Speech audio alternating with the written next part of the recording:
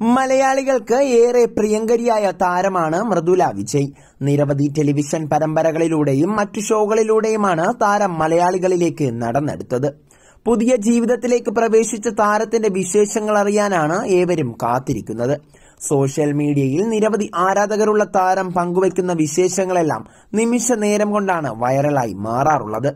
ഇപ്പോഴിതാ മറ്റൊരു സന്തോഷം ജീവിതത്തിൽ ഉണ്ടാവുന്നതിനെക്കുറിച്ച് ആരാധകരുമായി പങ്കുവച്ച് എത്തിയിരിക്കുകയാണ് മൃദുല. പുതിയൊരു സീരിയലിന്റെ ഭാഗമാകാൻ പോകുന്ന സന്തോഷമാണ് മൃദുല ഇത്തവണ പങ്കുവച്ചിരിക്കുന്നത്. മഴവിൽ മനോരമയിൽ ഉടൻ സംരക്ഷണം ആരംഭിക്കാൻ പോകുന്ന തുമ്പപ്പൂ എന്ന സീരിയലിന്റെ ഒരു സുപ്രധാന കഥാപാത്രത്തെ മൃദുലയും അവതരിപ്പിക്കാൻ പോകുകയാണ്. ഒക്ടോബർ പതിനെട്ട് മുതലാണ് സീരിയൽ പ്രേക്ഷകരിലേക്ക് എത്തുന്നത്. തിങ്കൾ മുതൽ വെള്ളി വരെ രാത്രി എട്ട് മണിക്കായിരിക്കും പുതിയ സീരിയലിന്റെ സംപ്രേക്ഷണ സമയം.